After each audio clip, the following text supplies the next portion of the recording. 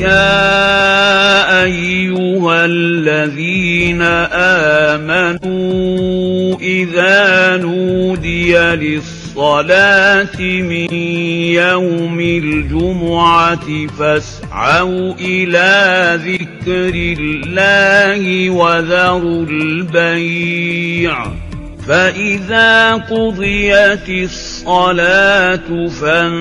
فانتشروا في الأرض وابتغوا من فضل الله واذكروا الله كثيرا لعلكم تفلحون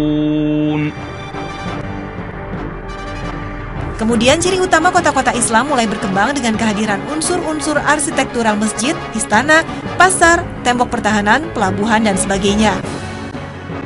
Etnisitas penduduk kota-kota Islam juga semakin beragam akibat meningkatnya aktivitas perdagangan regional maupun internasional.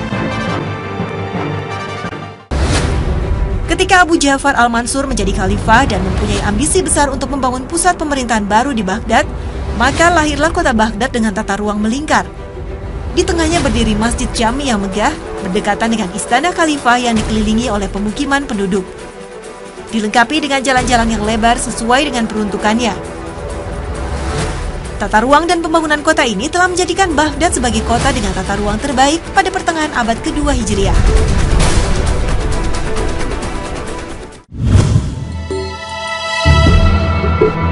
Saat ini, kota telah berkembang demikian masif dengan sejumlah masalah yang mengikutinya. Teknologi yang menjadikan transportasi berkembang maju membawa sejumlah dampak pada penataan kota. Di berbagai kota maju di dunia saat ini, masalah polusi kendaraan, kemacetan, hingga wilayah kumuh dengan dampak sosial yang menyertainya menjadi masalah klasik. Tingginya kriminalitas hingga kesenjangan sosial menjadi santapan sehari-hari. Belum lagi ancaman ekologis karena budaya masyarakat kota yang tidak bersahabat dengan lingkungan tempat tinggalnya sendiri. Tengoklah Jakarta, ibu kota negara ini salah satu contohnya. Salah satu bebannya adalah banjir, masalah yang harus segera ditangani selain kemacetan yang menyumbang polusi. Belum lagi kawasan padat penduduk dengan tingkat kriminalitas yang tinggi menjadi pekerjaan rumah yang menunggu untuk segera diselesaikan. Dengan beragam masalah yang dihadapi, mampukah Jakarta menjadi sebuah kota modern? Ada delapan syarat yang harus dipenuhi, yaitu bebas banjir, ketersediaan air bersih untuk rumah tangga dan industri, sarana angkutan sampah padat dan cair yang andal, ketersediaan angkutan kota dan antar kota yang nyaman, ketersediaan tenaga listrik, ketersediaan sarana komunikasi, pembatasan polusi berasal gas dari pembakaran hidrokarbon, dan pembatasan kandungan padatan renik berukuran 10 mikron.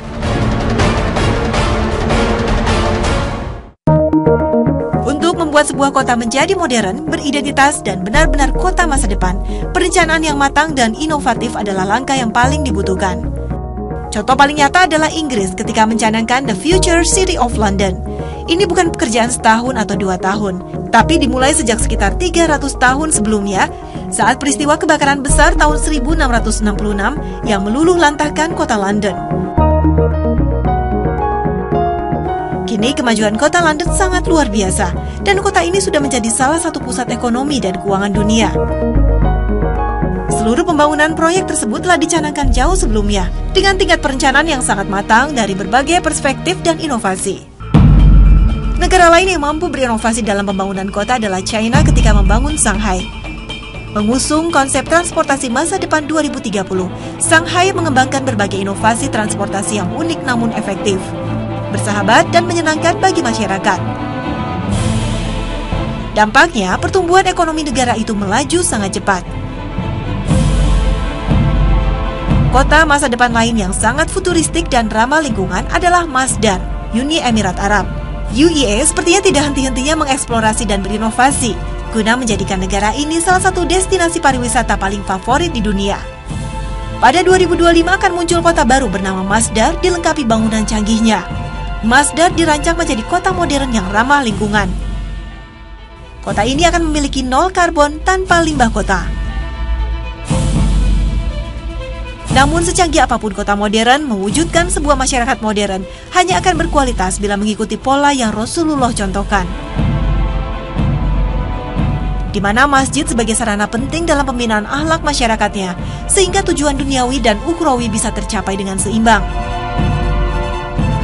Masyarakat dalam tatanan kota modern yang menjadikan ruang publiknya hanya untuk komoditas sosial dan organisasi bisnis tentunya sulit memperoleh keseimbangan ini.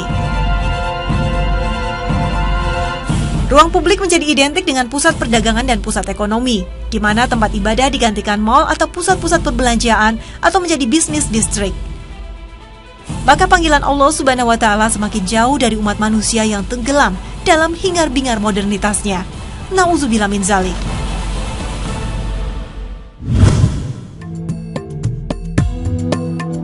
Di tengah arus perubahan kota yang bergulir cepat, beberapa sudut kota meninggalkan bangunan yang menjadi saksi bisu putaran roda zaman. Terkadang bangunan tersebut justru menjadi media yang penting sebagai bagian dari sejarah yang menjadi pelajaran. Pelestarian dalam bangunan maupun arsitektur perkotaan merupakan salah satu daya tarik bagi sebuah kawasan. Dengan terpeliharanya satu bangunan kuno bersejarah pada suatu kawasan akan memberikan ikatan kesinambungan yang erat antara masa kini dan masa lalu. Menghancurkan bangunan bersejarah sama halnya dengan menghapuskan salah satu cermin untuk mengenali sejarah dan tradisi masa lalu. Dengan hilangnya bangunan bersejarah, lenyap pula bagian sejarah dari suatu tempat yang sebenarnya telah menciptakan suatu identitas tersendiri, sehingga menimbulkan erosi identitas budaya.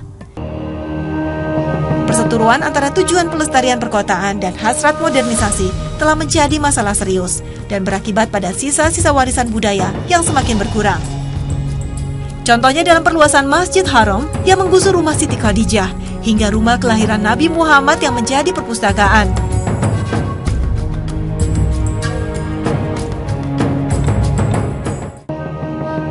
Ketakutan akan adanya kegiatan musyrik berkaitan dengan bangunan peninggalan Rasulullah yang kemudian dimuliakan menjadi landasan untuk menghilangkan bangunan bersejarah tersebut.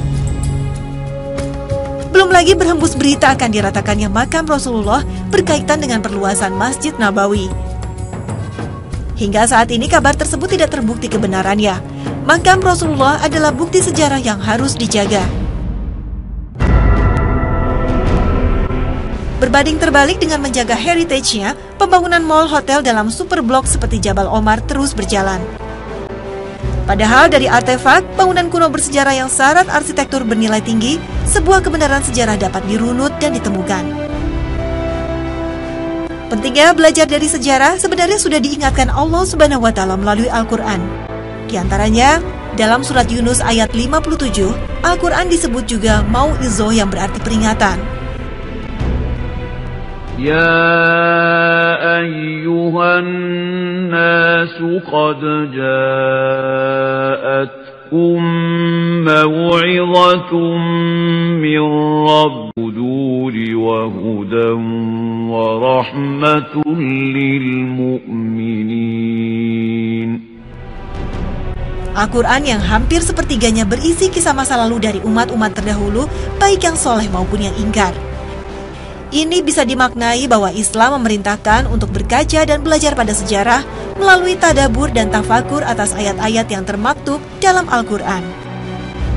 Dalam surat Hud ayat 120, kisah dari Rasul-Rasul menjadi sebuah pelajaran sejarah yang berfungsi sebagai peneguh hati, pengajaran, peringatan, dan sumber kebenaran. Jaminan kebenaran Al-Quran telah termaktub tegas dalam surat Al-Baqarah ayat 2. Kitab ini tidak ada keraguan di dalamnya, petunjuk bagi orang-orang yang bertakwa.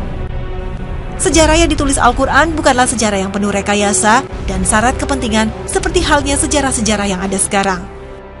Dengan sejarah yang tertulis dan dikisahkan oleh Al-Quran, umat Islam dituntut untuk bisa berpikir, menjadikan sejarah sebagai pelajaran dan peringatan untuk menentukan langkah berikutnya.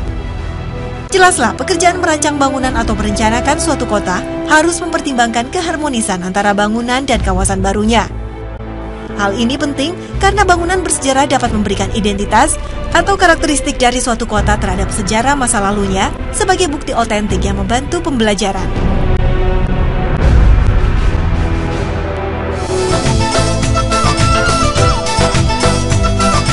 Nah, pemirsa setia Kasana, berakhir sudah kebersamaan kita pagi ini. Semoga informasi tadi dapat menambah wawasan dan keimanan kita kepada Allah Subhanahu wa taala. Bila ada kesalahan dalam penyampaian, mohon dimaafkan. Semoga Anda bisa memetik hikmah yang terbaik. Wassalamualaikum warahmatullahi wabarakatuh.